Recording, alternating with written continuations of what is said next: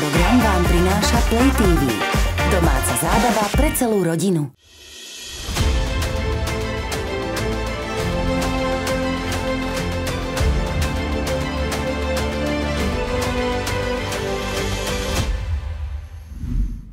V dnešnej téme si zhodnotíme prvý parlamentný polrok, najdôležitejšie udalosti a schválené zákony, ktoré ovplyvnili chod spoločnosti. Rozprávať sa o tom budem v televízii Spark s politológom Jozefom Lenčom. Dobrý deň. Dobrý deň. Tak zhodnoť, zhodnoťme si tak vo všeobecnosti prvý polrok aj v prípade koalície aj opozície. Myslím si, že bol veľmi akčný, čo sa týka e, oboch e, tých táborov v rámci, v rámci parlamentu. E, tak na strane vládnej koalície v, v kontexte zmien, ktoré sa snažili a mnohé úspešne presadili, či už personálne na jednotlivých ministerstvách alebo legislatívne v rámci, v rámci zákonov.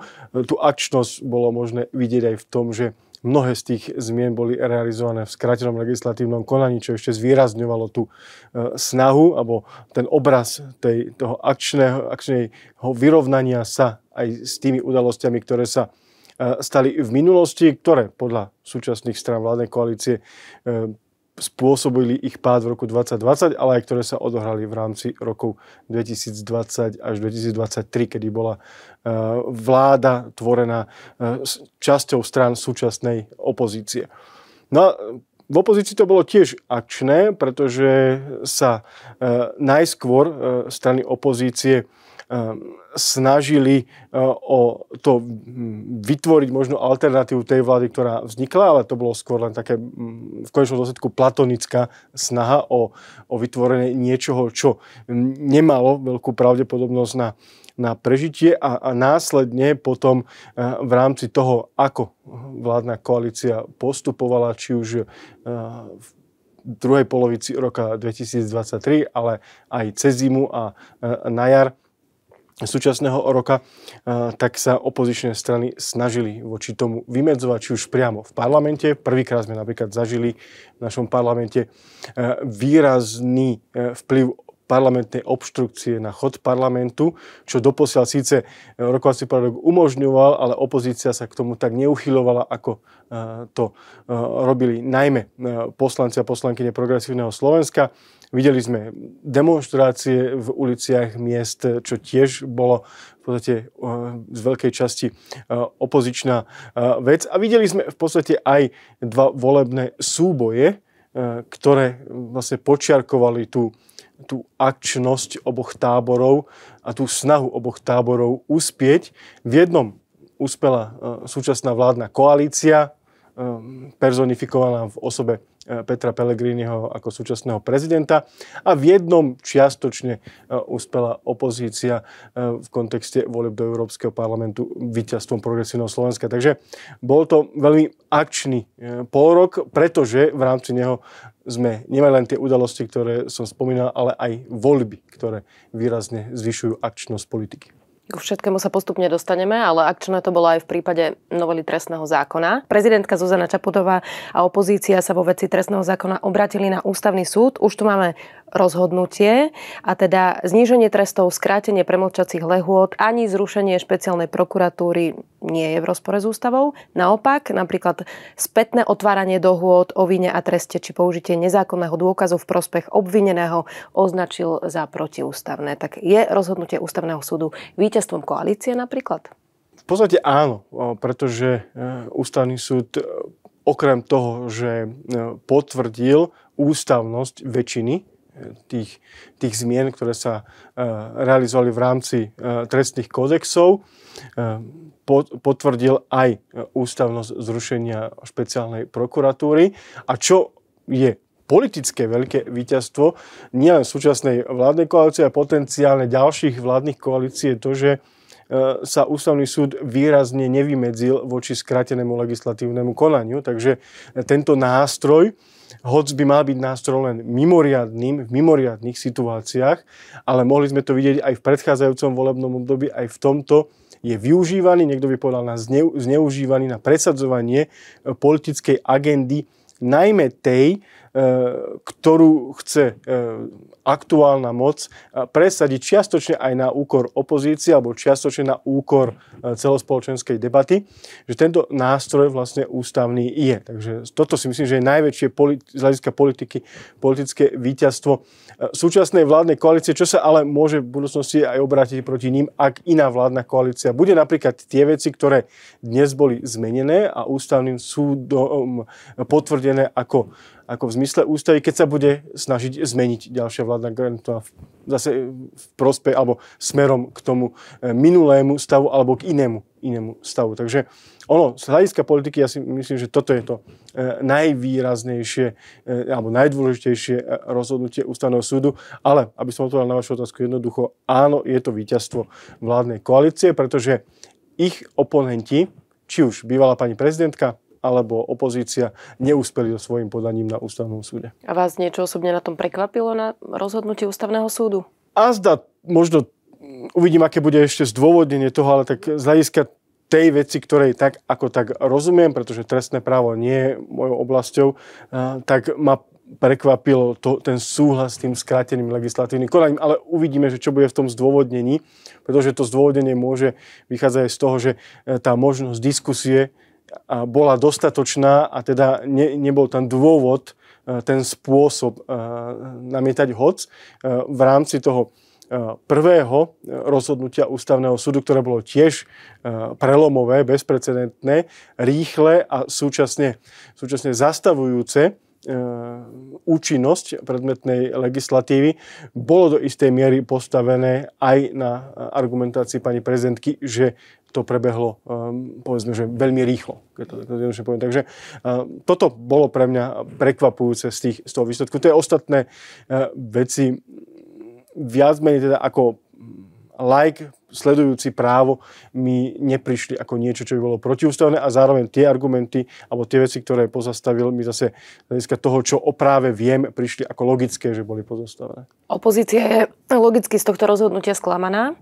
Príde možno o časť svojej politickej agendy? Príde o, o agendu, ktorá e, bola motivačná e, pre e, pre opozíciu v tom období, povedzme, od novembra do, do januára, februára, kým začali kým bol schválený e, celý, alebo ukončený celý ten proces schváľovania e, týchto legislatívnych zmien, ale o tú agendu by prišli v podstate aj v momente, keby ústavný súd rozhodol v prospech nich, pretože by sa ukončil určitý proces a samozrejme znova by sa mohla naštartovať tá agenda v prípade, že by sa vládna koalícia iným spôsobom snažila tie isté zmeny e, dostať do, do, do legislatívnej podoby.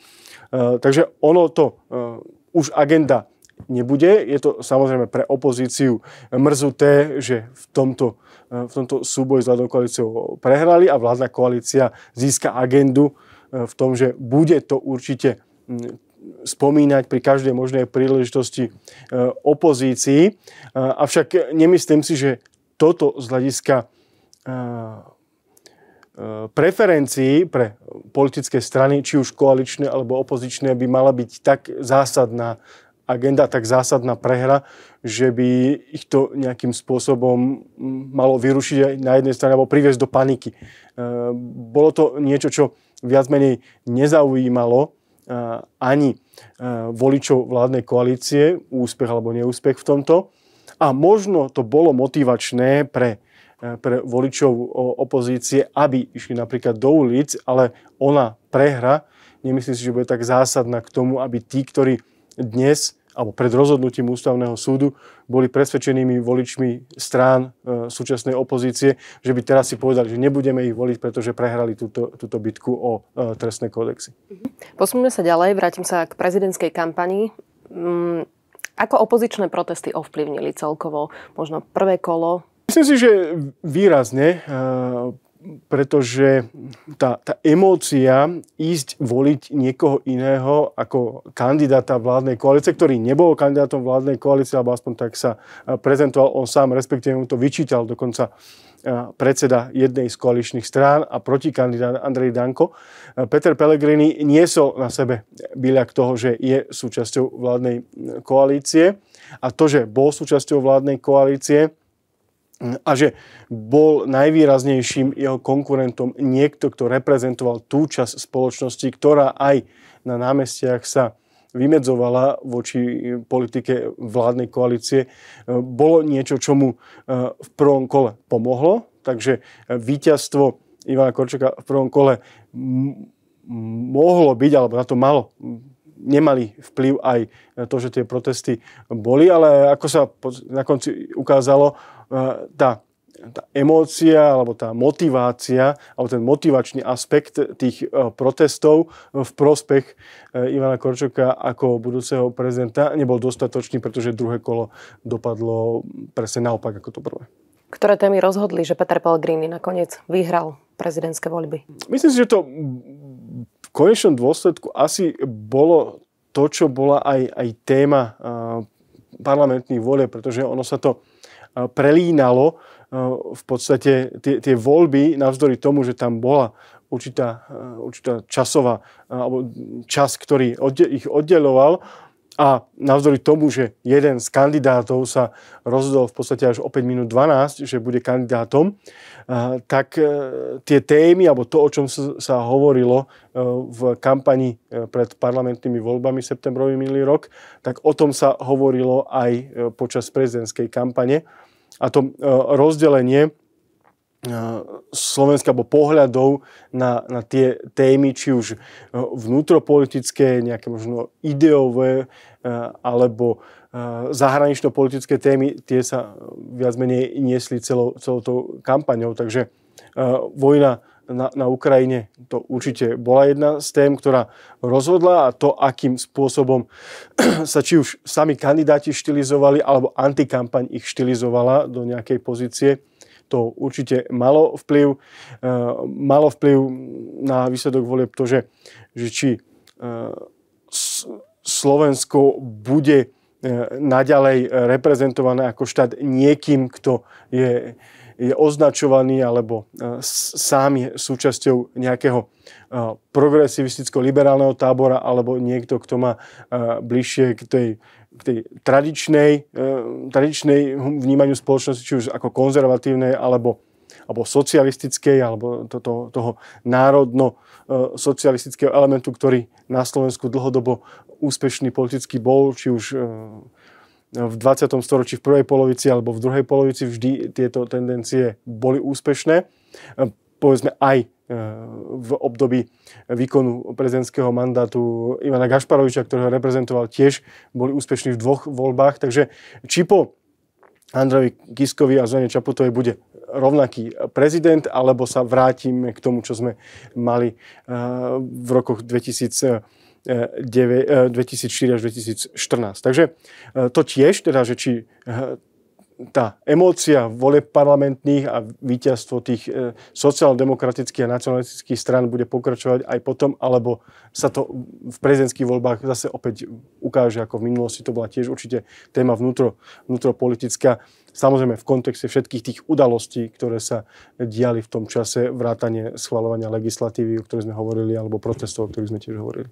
A bola napríklad antikampaň, ktorú ste spomenuli v určitých momentoch výrazne cez čiaru, či už na jednej alebo na druhej strane? Ako antikampaň sama o sebe e, je, treba povedať, že súčasťou politiky a antikampaň tu bola vždy aj, v minulosti, aj, aj nielen u nás a niekde, niekde inde. E, samozrejme, tá antikampaň sa bude meniť v podobe aj technologických e, noviniek, ktoré sú, umelej inteligencie, deepfake videí a podobne.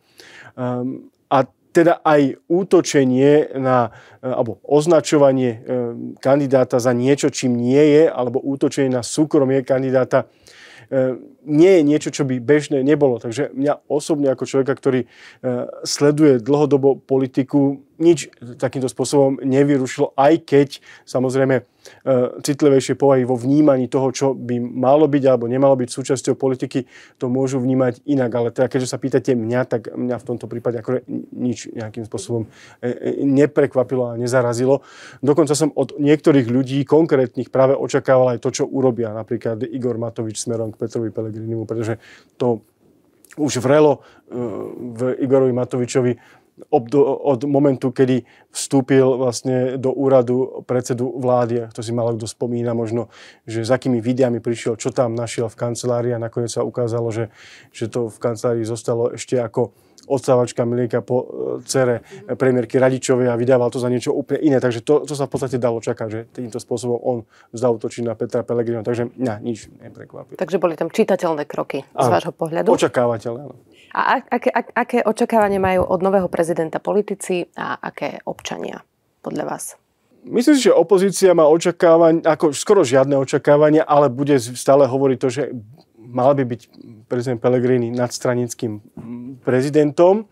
Možno niektorí budú očakávať, že e, Peter Pellegrini nakoniec či už dobrovoľne alebo nedobrovoľne prekročí e, svoj tieň intenciách, to, že sa dostane do konfliktu s vládnou koalíciou, čo podľa môjho názoru nie je vylúčené, pretože e, už sa to raz stalo a tiež to nebol akt očakávaného hrdinstva, ale skôr vývoja situácie. Tým mám na mysli e, konflikt medzi Michalom Kováčom a Vladimírom Mečiarom ešte z ranných 90. rokov. E, vládna koalícia, predpokladám, voliči vládnej koalície budú, budú očakávať, že Peter Pellegrini bude e, prezidentom, ktorý bude iný ako bola Zuzana Čaputová, aj vo vzťahu k súčasnej vládnej moci ale aj e, vo vzťahu k reprezentácii Slovenska, k témam, ktoré bude otvárať ľuďom, ktorým sa bude prihovárať ľudí, ktorých bude oceňovať a volať do svojho, e, na svoj, do svojho úradu. E,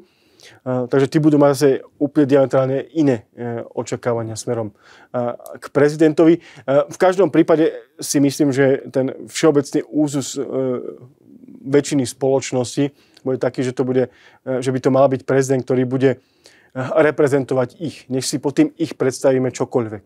Či ich ako aspoň dôstojne reprezentuje štát, ktorého som súčasťou, aj keď nereprezentuje moje ideologické spektrum, alebo reprezentovať ich, že bude konečne tam niekto, kto bude mne ako obyčajnému e, človeku z ľudu, ako to aj pán prezident mal v tom svojom príhovore, keď hovoril o Jozefovi Makovi, že bude toho práve jednoduchého e, človeka reprezentovať. Takže myslím si, že všeobecný ten náhľad na ňo bude, že nech ma dobre reprezentuje.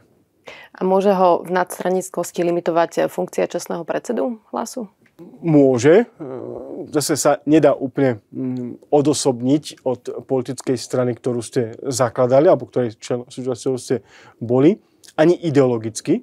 E, ak ten človek je ideologicky presvedčený alebo bol presvedčený v čase, keď bol súčasťou politiky s, da, s danou politickou stranou. To sme v podstate videli aj v prípade Zany Čaputovej. Ona síce e, nehovorila ako reprezentantka progresívneho Slovenska, ale tie témy, ktoré prinášala, osobnosti, ktoré oceňovala, postoje, ktoré zastávali sa, boli blízke tým postojom, ktoré malo progresívne Slovensko, čo jej samozrejme vyčítali oponenti, aj keď to ona nerobila preto, aby pomáhala strane, pretože taká bola a taký bude aj podľa môjho názoru eh, Peter Pellegrini, že ak sa nám bude zdať, že sa prelína agenda jeho politickej strany s tým, čo on tvrdí, tak to nie je preto, že by primárne chcel hrať pre tú stranu, ale pretože to tak vyplíne z toho, ako je on nastavený a daná politická e, strana.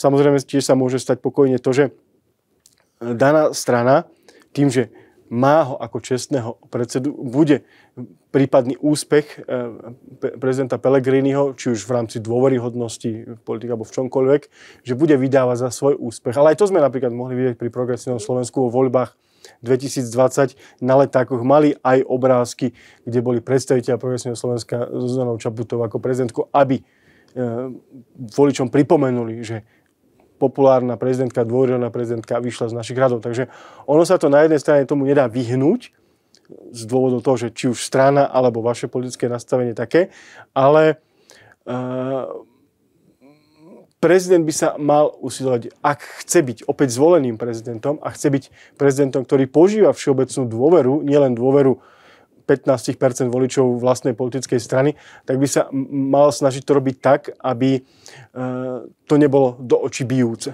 že, že je len prezidentom jednej politickej strany, pretože tým v podstate poškodí sebe, ak bude hrať agendu len politickej strany, ktorá dnes prieskumoch má, teda keď hovoríme o strane hlas len 15%.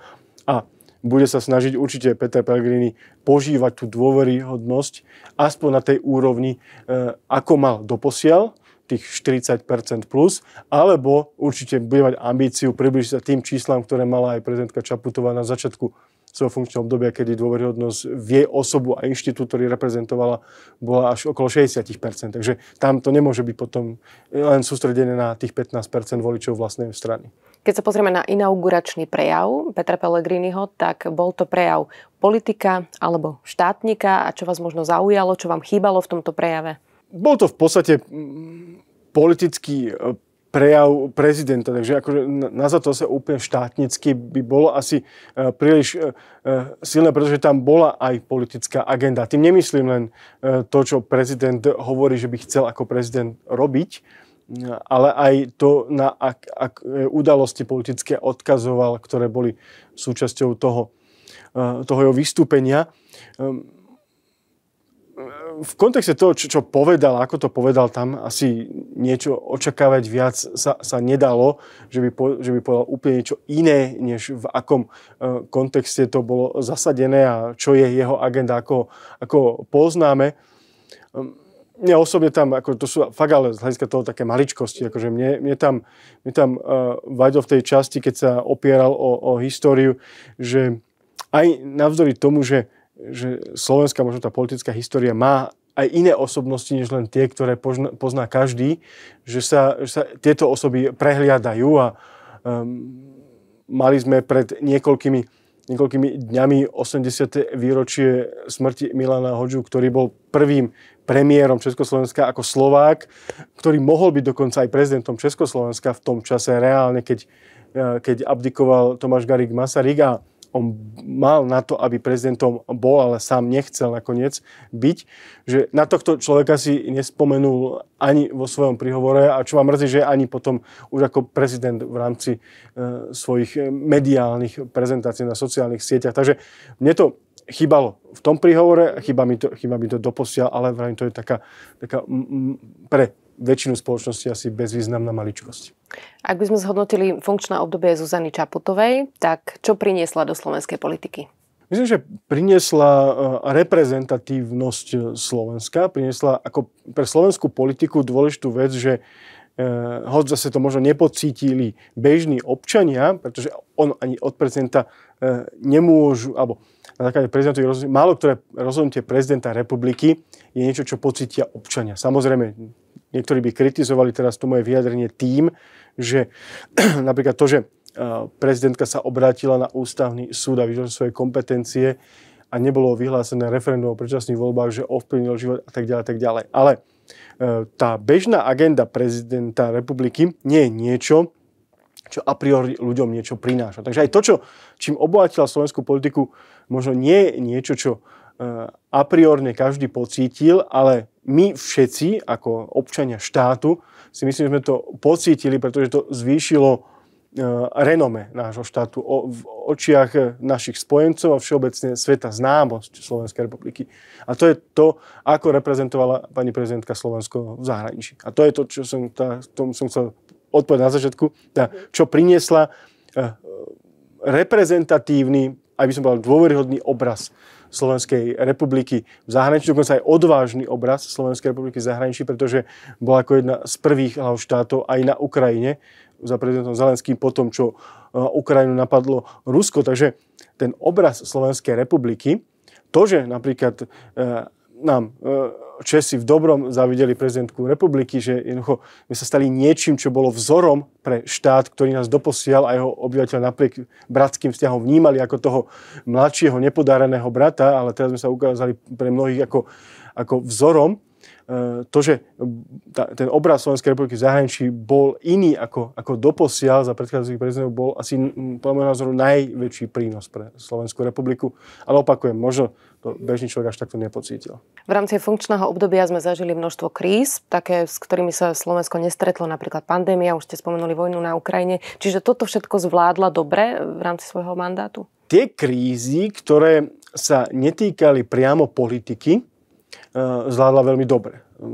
Aj pandemická kríza nevnímam ako ktorá ovplyvňuje priamo politiku, ale tie postoje smerom k občanom, aj smerom k vláde.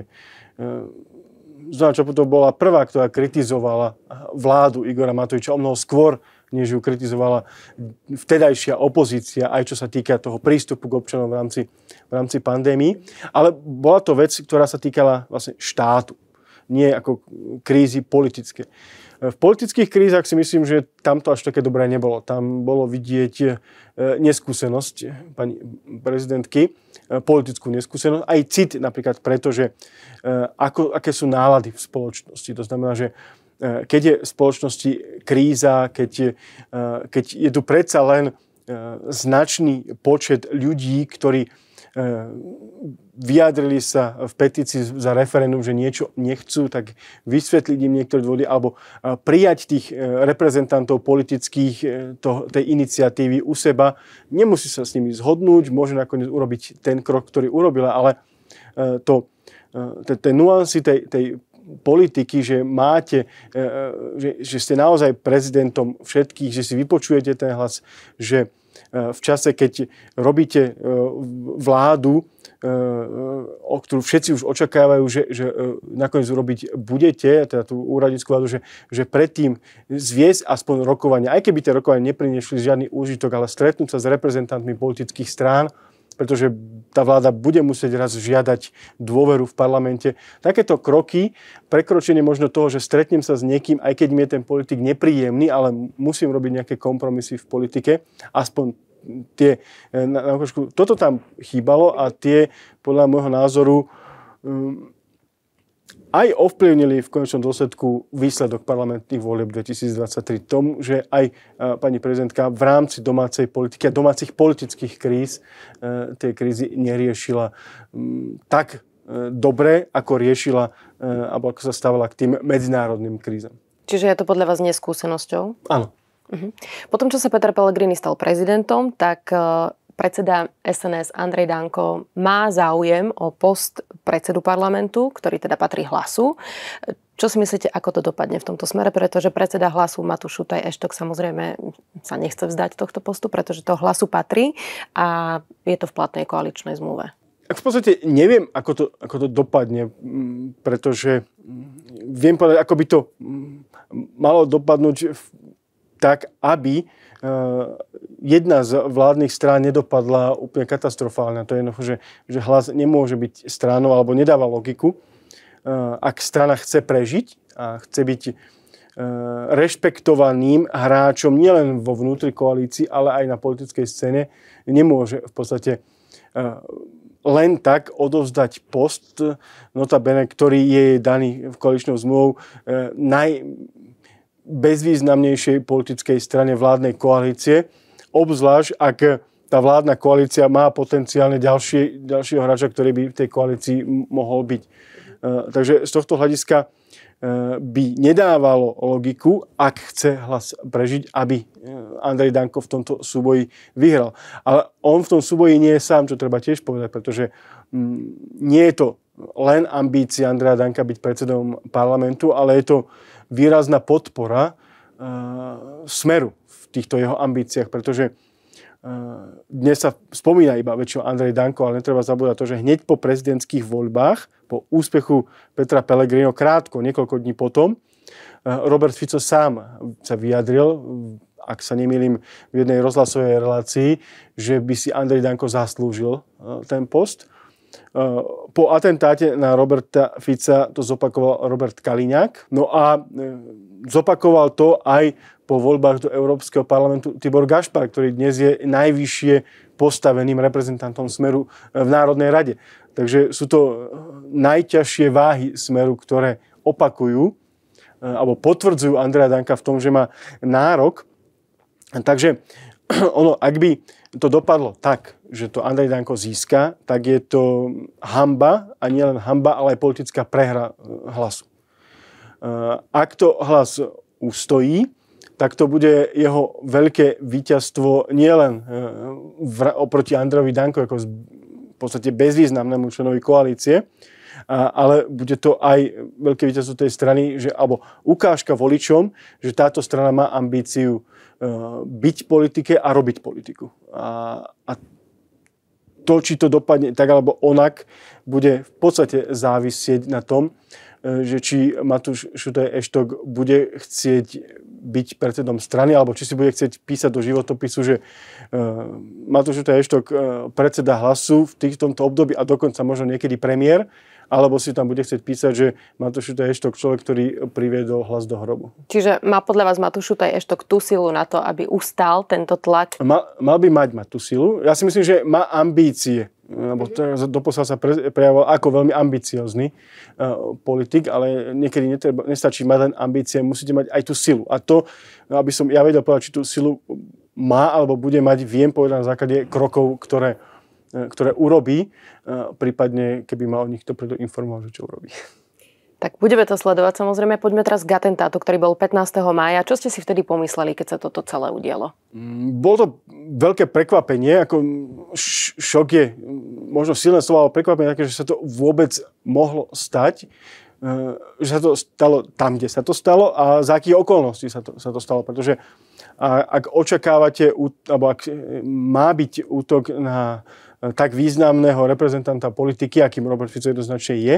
Očakávate, že to bude že to udeje e, niekde skôr v nepriateľskejšom prostredí, v, v prostredí, kde je veľa ľudí a nie, nie e, na mieste, ktoré, e, alebo na rokovaní, o ktorom v podstate aj málo kto to vedel. Mm-hmm ja sa priznám, že teda ako ja som z Handlovej, ale že bolo e, rokovanie vlády v Handlovej som sa dozvedel v ten deň zo správ, keď som to, pozeral a keď som aj volal domov ešte predtým, než sa ten atentát stal, tak v podstate aj môj otec nevedel, že tam je rokovanie, rokovanie vlády. Takže že ono, že sa to stane za takýchto okolností je akože mimoriadne prekvapujúce určite, pre niekoho až šokujúce.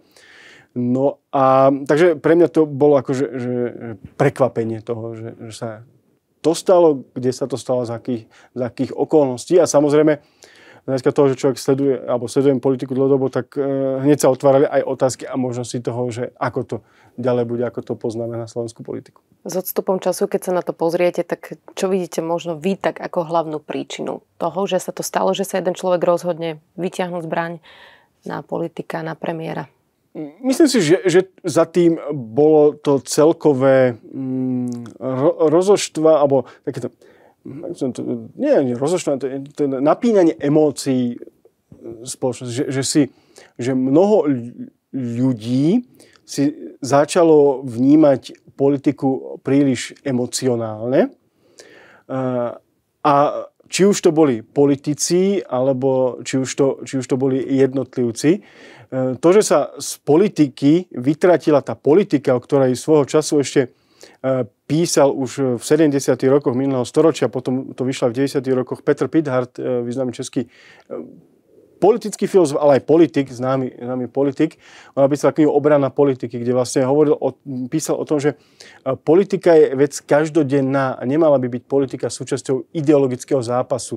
Nemala by byť stávaná do pozície, že politika je priestor boja dobra so zlom, že máme tu nejakých mesiašov, ktorí nás spasia a máme tu nejakých diablov, ktorí nás e, vovedú do, do pekla a všetci skončíme zatratení. A táto ideologizácia politiky v intenciách toho, že sa z nej stal boj dobra a zla, že tí jedni sú tí dobrí, to sme my a to si myslí či už uh, strana, ktorá, alebo ľudia, ktorí dnes reprezentujú koaličné strany alebo tí, čo reprezentujú opozíciu, keď oni vnímajú seba ako to dobro, ktoré musí to, to zlo poraziť, a keď to takto začnú vnímať prostredníctvom samozrejme sociálnych sietí, ktorí v tom podporujú, v, to, v tých svetoch uzatvárajú, v tých povestných bublinách, a keď e, to, to zlo má nejakú podobu nejakej tvare konkrétneho politika, na ktorého upozorňujú zase opäť či už jedna alebo druhá strana, no a to sa skombinuje v tom, že e, si ten svoj, e, ten, ten, tú svoju zodpovednosť za, za ten boj dobra zla v sebe premietne konkrétny jeden človek, ktorý to chce vyriešiť za všetkých, tak to potom samozrejme vyústi do takéhoto konania. Takže tá, tá strata politiky z politiky a tá emokracia, to je tiež jeden pojem, ktorý sa v ostatnej dobe politológii používa, tá emokracia, ktorá ovládla politiku, tá vláda emócií vlastne bola vyústená takýmto spôsobom. A treba ale povedať, že to nie v rámci dnešnej doby ojedinelý prípad. Je to útok na premiéra, je útokom, ktorý nezažili ani e, už od 80. rokov, ani v iných častiach Európy, ale útoky na politikov e, zažívame už bežne. Útoky na ľudí kvôli ich politickým názorom zažívame bežne, pretože sa tá politika zmenila nie na každodennú nudnú prácu, ale na boj dobra so zlom.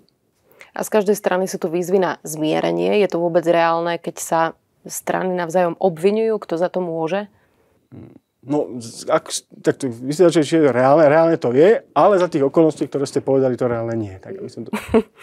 Koalícia okrem opozície pripisuje podiel viny aj médiám. Na to sa ako pozeráte. Ako súčasne, ako fungujú aktuálne médiá, teda podľa vás? Média sú súčasťou toho celého, to znamená, že ak e, vám záleží, o, záleží na tom, aby ste na vlne emócie zvyšovali svoju, e, svoju viditeľnosť, e, svoj, svoju klikanosť, pozerateľnosť, ak to, to ľudia vlastne od vás žiadajú, tú, tú, tú emóciu, pretože že ju chcú, Politici sa na nej vezú, pretože im prináša e, sledovateľov a v končnom hlasov a, a moc, tak e, nedá sa z toho vymeniť, že, že médiá v tom, tom nemajú žiadny, e, žiadnu zodpovednosť, pretože podnecovali tie, tie emócie. Keď som videl kampaň jedného z médií pred voľbami eh, parlamentnými o tom, že zajtra nevyjde slnko a všetko bude hrozné a teraz spáchajme dobrženie hromadnú samovraždu, tak to, to je emocia, ktorá podnieti aj v niektorom človeku aj takú vec, že nakoniec sa rozhodne povie si, že nie, ja chcem, aby slnko zajtra vyšlo a preto to zlo odstránim. Takže a, a oni v tom eh, rolu zohrávajú, ale to, ako sa chcú politici zbaviť zodpovednosti a hodiť to na médiá je akože nonsens. Ale rovnako aj to, ako sa bežní ľudia chcú zbaviť svojej zodpovednosti a hodiť to na politikov a médiá je nonsens. Pretože všetky, a to nie len tieto tri, že verejnosť chce v odzovkách e, vidieť krv, médiá im tú krv chcú dať, pretože e, chcú, mať, e, chcú zarábať na tom a politici to médiám tú krv dajú, pretože vďaka médiám ich voliči vidia a dajú im svoj hlas. Všetci traja sa na tom v podstate rovnakým spôsobom podielajú. Takže ak sa niekto chce zbaviť zodpovednosti za to, pretože to robia tie médiá, povedia politici, alebo médiá a voliči, to robia tí politici, je v podstate iba zbavovanie sa zodpovednosti. Bezprostrednou reakciou na atentát bolo schválenie zákona, tzv. lex atentát. Opozícii sa to nepáči, napríklad spomeniem obmedzenia pri zhromaždeniach pred bydliskami verejných činiteľov alebo teda zavedenie doživotnej renty pre predsedu vlády a predsedu Národnej rady.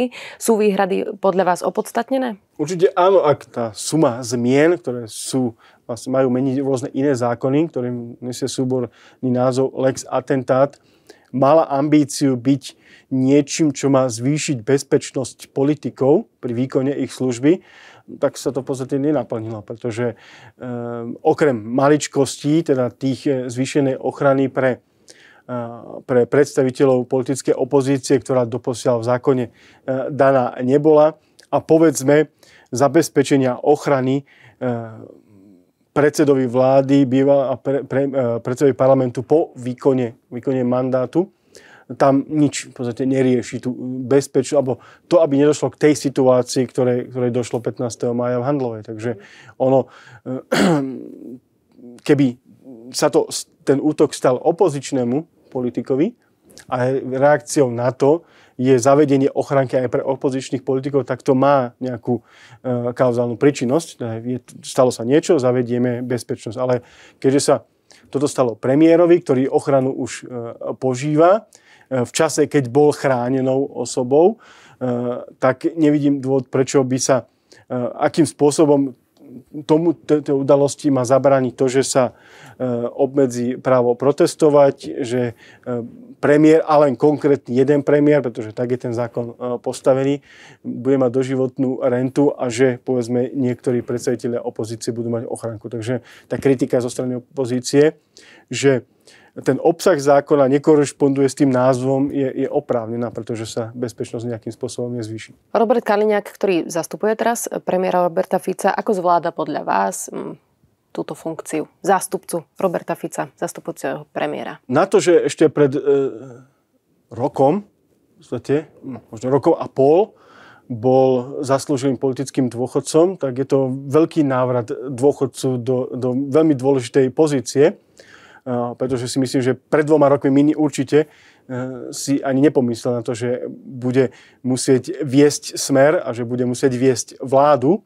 A myslím si, že sa ukazuje, že z hľadiska aj to strany Smer je na to najlepšie pripravený, aby E, tú stranu na teraz a vládu na teraz viedol. A e, keď si zoberieme od, to, od toho e, len technického výkonu, ako, ako to robí a že, že vláda funguje, že, že nikto nespochybňuje to, že on je tým, kto tú vládu reprezentuje aj z tých iných možno ambicióznych e, mladších alebo nových politikov a političiek v rámci vládnej koalície, to ukazuje, že, že technicky to zvláda veľmi dobre. Vystupuje veľmi zmierlivo, doposiaľ tak vystupoval. Myslíte, že je to len dočasný stav, kým sa nevráti Robert Fico, alebo to potiahne ono to, takto dlhšie? Ono to bol skôr dočasný stav vychádzajúci zo šoku, lebo zase opäť, keď sa pozrieme si na vyjadrenia Roberta Kaliňáka prvý týždeň po, po atentáte boli o mnoho zmierlivejšie smerom e, k opozícii a boli politické. E, tie ďalšie už sa vrátilo tej kole, čo som spomínal predtým, že tá politika sa vytratila, nerobí sa politika, ale zase sa tu vedie boj s nejakým dobrom a, a zlom. A opäť sme to my, ktorí nám bolo ublížené a vidíte to tí zlí, ktorí tu chcú presadiť všetko možné, čo, čo, sa, len, čo sa blíži až peklu. A tých musíme poraziť a do tej pozície sa dostal, pretože opäť zase stačilo, keď sme, som to vyčítal predtým pani prezidentke, že si nezavolala, nerokovala, nestretla sa s predstaviteľmi tej druhej strany spektra, tak mohol aj Robert Kaliňák, vedomí si toho, že veď máme v parlamente väčšinu, ale aspoň e, prijať e, lídrov opozície alebo lídra opozície, prerokovať to, stretnúť sa, povedať, že nezhodli sme sa síce na ničom, ale aspoň sme sa stretli. Vidíte ľudia, že máme záujem robiť politiku a nie len vzájomne spolu zápasy. Takže uh, veľmi rýchlo to z neho vyprchalo. On síce aj na ďalších tlačových konferenciách hovoril o tom, že sa ospravedlenil, ale to už bolo len také, také prázdno rozprávané. Lebo no, na oko, áno. Dôležité sú vo všetkom, nie len v politike, sú dôležité činy. Takže vy môžete rozprávať o čomkoľvek, kvet na to, ale keď nič pre to nerobíte, tak ako keby ste to ani nerobili. A to vlastne, na toto nakoniec pristúpil aj Robert Kaliňák. A ako hodnotíte prvý verejný prejav Roberta Fica cez sociálne siete, ktorý sme mali možnosť sledovať? Opäť možno viacerí, a priznám sa, že vrátane mňa očakávali, že e, Robert Fico sa vráti k politike, e, tak zostal v tom ideovom e, rozpoložení a v tom vlastne pokračovaní toho, toho čo, čo sa robilo predtým. Začalo to odpustením atentátníkovi, ale v podstate len preto, aby mohla sa vina hodiť na všetkých ostatných, ktorí za, za to môžu, aby sa to politicky využilo alebo zneužilo. Ale zase na druhej strane, keď sa pozrieme, že kedy to video bolo zverejnené a že to bolo v podstate v predvečer volieb do Európskeho parlamentu, tak e, ten obsah sa dal očakávať, že bude taký, alebo mal motivovať voličov ísť voliť e, stranu Smer e, v európskych voľbách. Takže zase nemôžem mňa ako človeka, čo sleduje politiku, prekvapiť ten obsah v kontexte toho dátumu. Keby to video vyšlo možno deň po voľbách, tak by ten obsah nebol až taký, aký bol, pretože mal plniť aj určitú, určitú úlohu e, pre, pre, pre stranu a jej kandidátov. Takže ak nejaká udalosť má byť e, katarziou spoločenskou, tým, že nás to zasiahlo a chceme, chceme už robiť všetko preto, aby sa znova toto nestalo, tak by sme sa mali zmeniť. Ale keď sa budeme správať rovnako, tak ako keby sa tá udalosť nestala a aj ten človek, ktorý na tom najviac utrpel Robert Fico, ako keby sme do jeho utrpenia hodili do koša, že bolo zbytočné, pretože veď vlastne robíme to, čo predtým a je nám jedno, že, že čo ho postihlo. A aký Robert Fico sa teda podľa vás vráti na politickú scénu? Uvidíme. Ako, ťažko sa mi bude teraz hovoriť, pretože nie som v, v jeho koži a e, neznášam jeho bolesti a nenesiem ani jeho zodpovednosť, či už za svoju vlastnú budúcnosť alebo budúcnosť ľudí, ktorí sú na ňom závislí. Takže ako opäť, keďže som tu už viackrát spomínal, alebo spomínal tú politiku a raz som tu spomínal Petra Pidharta, ja by som bol rád, aby sa Robert Fico vrátil ako politik, ktorý si prečíta Pithartovú obranu politiky a nie ako človek, ktorý sám svojou, svojimi vyjadreniami a svojou politikou bude vlastne negovať tú udalosť, ktorá ho postihla. Myslíte si, že sa vráti na dlhé obdobie alebo len nakrátko, aby možno odovzdal nejaké skúsenosti, upokojil národ svojich voličov? 17. novembra, keď už tradične má smer svoj, svoj snem, minulého roka Robert Fico, podľa môjho názoru, ako som čítal ten jeho prejav, naznačil, že toto má byť jeho posledné obdobie. A to bolo v čase, kedy teda nebol uh, post, alebo nebol spáchaný atentát a neznášal tie bolesti a to utrpenie, ktoré znáša teraz. Takže, a vtedy už hovoril, že, že bude, bude končiť. Takže uh, ak sa vráti, tak si myslím, že maximálne do, do budúcich volieb a skôr si myslím, že to bude ešte kratšie obdobie, že to bude v podstate len tak, ako ste naznačili v tej otázke, že to bude návrat na odovzdanie štafety a myslím si, že či už on, alebo ľudia okolo neho, alebo tí, ktorí sú mu zaviazaní za to, že sú dnes tým, čím sú, E, budú asi zvážovať to, akým spôsobom e, sa mu ovďačiť za to, čo pre nich urobil. Možno je to vďakou tá, tá doživotná renta, ktorá bola teraz schválená, alebo možno to bude ešte nejaká, nejaká pozícia.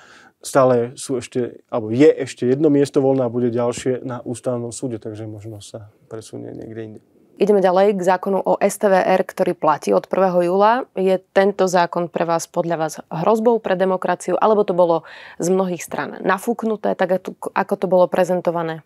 S toho, akým spôsobom, e, takto, e, to, ako o ňom e, zdôvodňovali tento zákon tí, ktorí ho silomocou chceli, a to sú reprezentanti najmä SNS a zdôvodnil tým, že hlavne ústami Andrea Danka že chceme, alebo iných ľudí, chceme niektorých ľudí z STV, e, teda z, z, z verejnoprávnej televízie a rozhlasu dostať preč. E, chceme tam niečo zmeniť, aby to bolo v prospech e, nás, hovorí sa objektivita, ale v prospech nás, ak tam chceme dosadiť niektorých, ktorých tam chceme. Ak sa vlastne v podstate ten proces kreovania budúceho vedenia televízie nastavil tak, že vládna koalícia môže v úzkom kruhu v podstate rozhodnúť o tom, e, kto bude vyberať budúce vedenie televízie a nakoniec aj riadiť tú televíziu, pretože kompetencie riaditeľa sa znížia smerom k tej rade STVR.